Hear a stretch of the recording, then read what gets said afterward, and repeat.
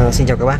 Em nay em ờ, đang nhận ờ, sửa chiếc ờ, đầu con con Highlander mà nó bị cái ờ, hiện tượng báo đĩa map này. Nhưng cái vấn đề là báo đĩa map này nó không không phải là do hỏng không phải là do hỏng Thân ông chịu hay là châu ông chịu? ừ, không phải là do hỏng đĩa thiếu đĩa mà nó đang ờ, bị hỏng mắt đọc mắt đọc em cho cái những cái đĩa xịn như này vào nhưng mà nó vẫn không đọc được. Đâu em à, đang đâu em cho vào nhưng mà nó Vâng. Đang sửa cái đĩa vẫn của báo đây. DVD map. Sửa cái đĩa đây đang ở đường giải phóng. ok. Bây giờ để sửa con này thì con này nó đang bị hiện tượng lỗi motor đĩa hoặc motor đĩa map hoặc là mắt đọc nó bị hỏng bị kém như nào đó thì em phải tháo lên kiểm tra được. Em hướng dẫn các các bác cách tháo luôn nhé đây tháo cái này trước tiên này bác tháo từ đây này. Nhấc cái này này nhấc được cái miếng này này. Nhấc cả hai bên Đó.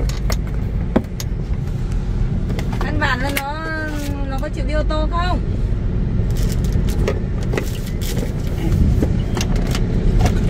Bây giờ phải đi cho nắng thế này cứ đi xe máy mẹ đâu chở Nhấc đi. xe máy à không đi say À. nắng mẹ ngã ra đường thì sao nhấc cái miếng này lên miếng À, đi. để tháo được cái- cái này ra thì các bác phải cậy được cái, cái phần này ra này. Đấy, bác cậy nó ra Đi đi Đấy, cậy kéo nó ra. Ok. Từ từ đã để để để, để số số đập phanh đập mạnh phanh phanh ở giữa. Vâng. Kéo nó ra. Ok kéo ra để rút mấy cái rắc uh, rút mấy cái rắc của nó ra. Đây là con đời 2010 Thì ở đây 8 chơi, là giống như này có trâu ở đấy thì ở đây Ok. chơi với trâu thì một tí. Ờ, bước tiếp theo là còn anh boy thì học một mình mà. Là tháo cái này ra đó nhấc nó ra. Ok cái này không cần phải rút rắc để nguyên ở đây đi. Bây giờ nó sẽ nhìn thấy mấy căn ốc ở dưới này này. Tháo ốc lên lấy T10 tháo ốc ra. Không em mà sửa được xe thì em nhờ bạn em qua đấy đón Hân về nhà luôn. Đây mấy ốc em 10 phải qua này. chỗ khách sạn của bác ở ấy. À, bước tiếp theo là các bác phải móc được cái ờ, phần mặt này ra cái mặt này. À. em thì em hay dùng móc còn các bác dùng cậy đi. Bác dùng tốt nhất là dùng nên dùng cái cậy. Móc này phải thật, thật, thật quen tay với móc được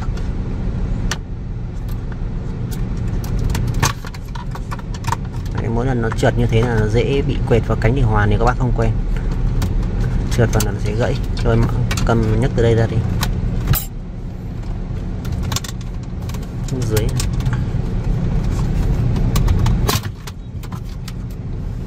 Ok, bây giờ nó có hai con ốc ở đây này.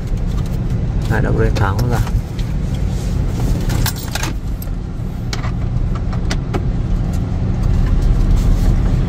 Rồi xong có tháo cái ốc coi như là đã tháo cái đầu ra kéo kéo cái đầu ra đi. Ok kéo cái đầu ra. Đây có cái dây ở dưới này.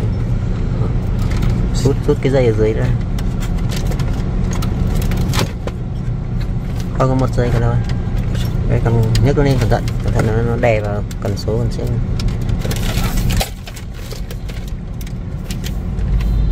kéo lên nhấc nhấc nhấc cao đầu lên nhấc cao đầu lên. Ông phải chèn nó xuống rồi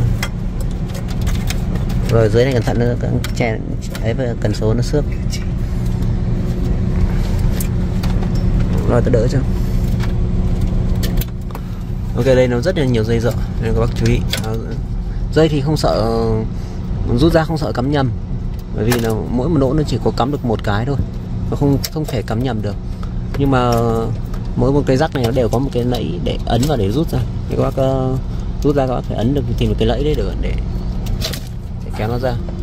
À, đến đây là coi như là em đã hướng dẫn các bác cách tháo xong cái đầu rồi. Nếu các bác hỏng như này thì liên hệ ngay với em nhé. Không thì nếu ở xa thì tháo cái đầu như này gửi về cho em à, sửa cho các bác nhé. Em cảm ơn các bác đã xem video.